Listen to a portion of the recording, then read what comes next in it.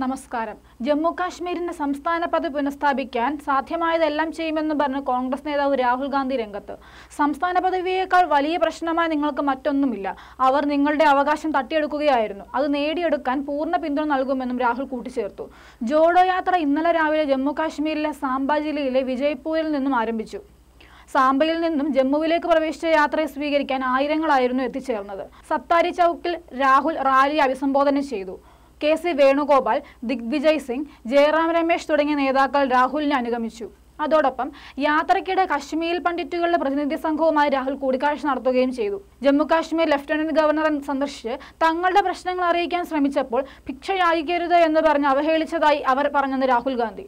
അവർ യാചിക്കുകയല്ല മറിച്ച് അവകാശങ്ങളാണ് ചോദിക്കുന്നതെന്ന് ലഫ്റ്റനന്റ് ഗവർണറോട് പറയാൻ ആഗ്രഹിക്കുന്നത് എന്നും രാഹുൽ പറഞ്ഞു. ജോഡോ യാത്ര ജമ്മുവിലെ ചില മേഖലകളിൽ ബസ്സിൽ സഞ്ചരിക്കുമെന്ന വാർത്ത വന്നിരുന്നു.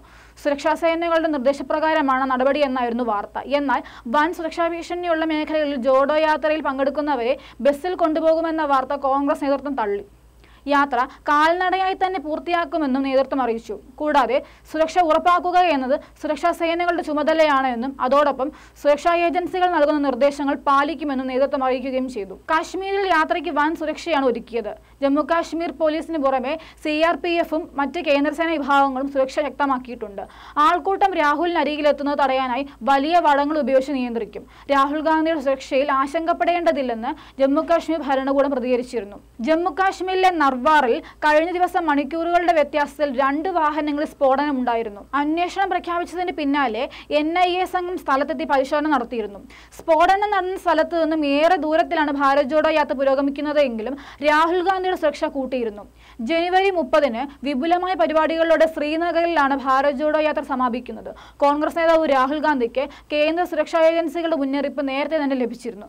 ഇതേറെ വാർത്താ പ്രാധാന്യം നേടിയിരുന്നു. ചില ഭാഗങ്ങൾ കാൽനടയാത്ര നടത്തരുത് എന്നും കൂടാതെ കാറിൽ സഞ്ചരിക്കണമെന്നുമാണ് സുരക്ഷാ ഏജൻസികളുടെ മുന്നറിയിപ്പ് നിർദ്ദേശം. അതോടൊപ്പം ഭാരത് ജോഡോ യാത്ര ശ്രീനഗറിലെത്തുമ്പോൾ രാഹുൽ ഗാന്ധിക്കൊപ്പം ആൾക്കൂട്ടം ഉണ്ടാകാൻ പാടില്ല എന്നും അന്വേഷണ ഏജൻസികൾ മുന്നറിയിപ്പ് നൽകിയിരുന്നു. രാഹുൽ ഗാന്ധി നയിക്കുന്ന ഭാരത് ജോഡോ യാത്രയ്ക്ക് വലിയ സ്വീകാര്യത ലഭിക്കുന്ന ഈ സാഹചര്യത്തിൽ ഭാരത് ജോഡോ യാത്രയുടെ സമാപന ദിവസമായ ജനുവരി മുപ്പതിന് ശ്രീനഗറിൽ നടക്കുന്ന മഹാറായിൽ പ്രതിപക്ഷത്തെ പ്രമുഖ പാർട്ടികൾ പങ്കെടുത്തേക്കില്ല എന്ന വാർത്തയും കഴിഞ്ഞ ദിവസങ്ങളിൽ വന്നിരുന്നു.